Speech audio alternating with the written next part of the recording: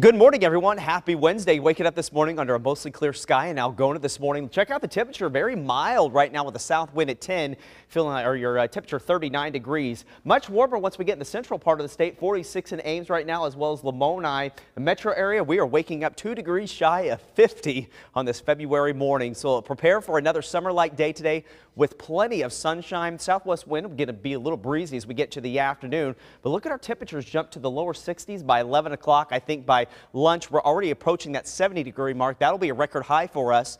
And the temperatures will slowly start to fall once we get to about 5 o'clock. Our high today making it to about 73. So yeah, the old record back in 1982 of 68 degrees. So futurecast for today, I'm going to kind of zip through this quickly because there's not much to talk about. So just get out and enjoy the weather.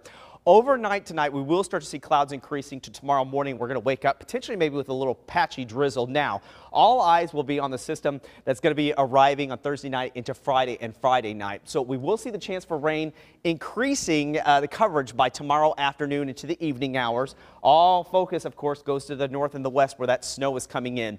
It is really going to be a race of the cold air coming in and the moisture. We have plenty of moisture to work with, but it's really on how fast that cold air will move in with this system. So Overnight Thursday night into Friday morning, here's midnight. Could be looking at the chance for some showers and, uh, and even some thunderstorms here for the metro area. But farther north and west, I think it's going to be mainly a snow event for you. And as that colder air makes its way in Friday night into Saturday morning, we'll see that transition to a, a snow event here in central and even southern Iowa. So I'm taking a look here at the European Futurecast. This is the snowcast. This is one of the models I trust, and this has been fairly accurate. Now, this is most likely going to fluctuate a little bit. So what you're seeing here is not official. I just want you to kind of uh, to know that. Again, this is giving you the idea where the snow is going to be falling. So here's Friday evening. Now the model indicates that we may have an inch here in the metro area.